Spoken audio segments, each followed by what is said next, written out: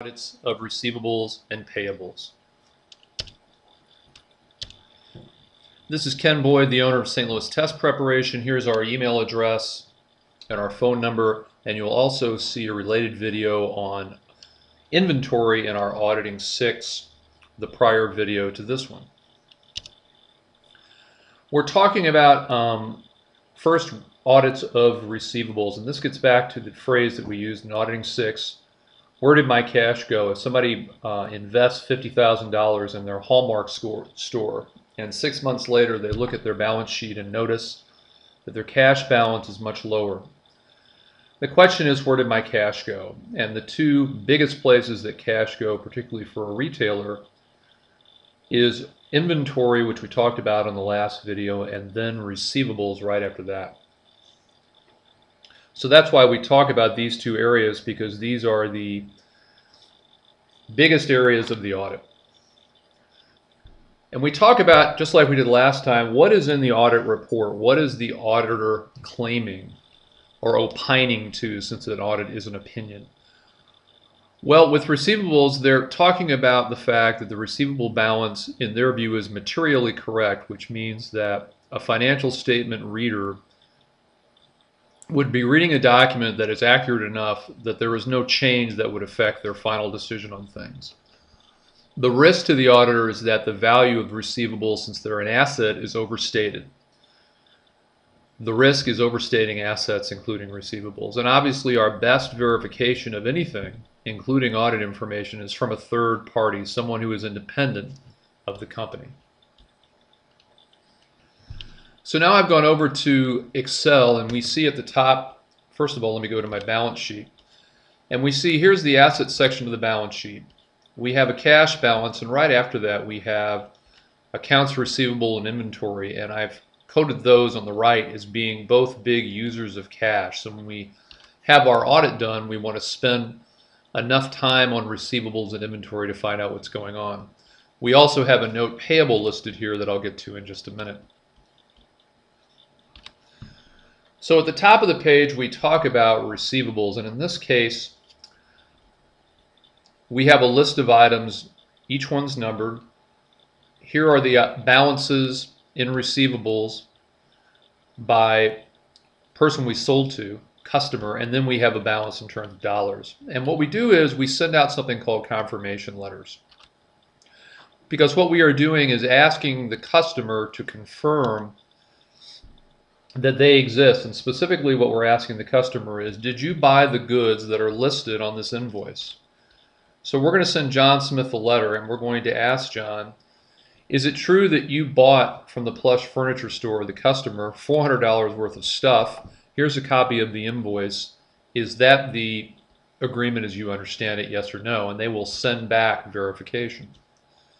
Another way to confirm a receivable, particularly if it's uh, a company that produces a physical good is shipping information. Can FedEx or a trucking, a trucking company confirm that they shipped a certain amount of Levi's jeans to the Gap store? If they did, we know that that was a sale for Levi's. And another one is simply history. If Hallmark consistently sells $200,000 worth of merchandise at the store in suburban St. Louis, and this year's financial statements show they sold $180,000 worth. That's somewhat consistent with their history. So we look for cons consistency too. And what we're trying to get at is that the receivable balance is reasonable when we look at history. So we're going to have a list of all the items and they're going to add up to that $120,000 receivable balance and we're going to agree that to the balance sheet which shows 120,000. If we flip back to payables, the payable is about what do I, the company, owe, and let's talk about the audit report again. The claim in the audit report, we want it to be materially correct, which means a statement reader would be looking at information that would not change if we counted every single dollar enough for them to change their opinion of the financials materially correct. And the risk with a liability is that we understate them, that they're too low. We want to avoid understating payables. Third party information, again, is our best evidence. And the example I have was with a bond, a bond that's been issued by the company. If you want to find out more about bond accounting, our intermediate accounting three through six videos talk about bonds, bond premiums, and discounts.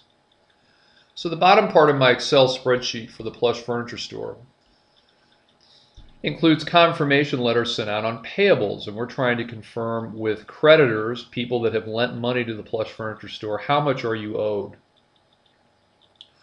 So for the note payable that we have on the balance sheet of $150,000, there will be a bond certificate.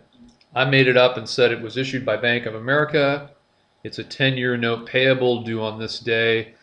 It has a 7% interest rate and it's payable twice a year. All the details on the bond certificate would be confirmed in writing when we send a confirmation letter to Bank America, the creditor.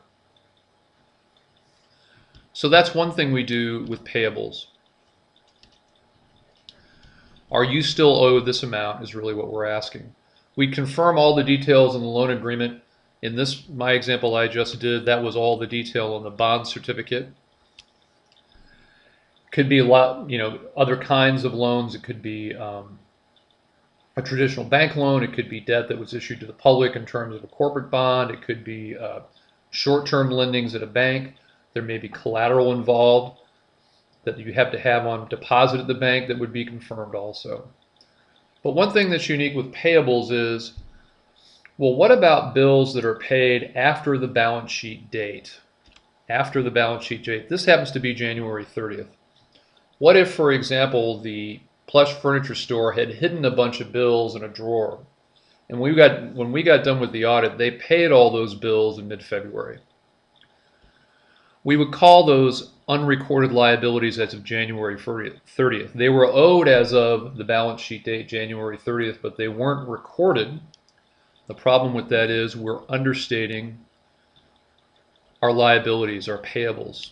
So one way we do that is we take a look at the checkbook after the balance sheet date to see what checks were written after we got past the balance sheet date. And if there were checks written, were the payables posted in the financials when we did our audit. That's the end of part seven. You'll see our Facebook page listed here. You can subscribe to our channel, Ken Boyd STL, all one word.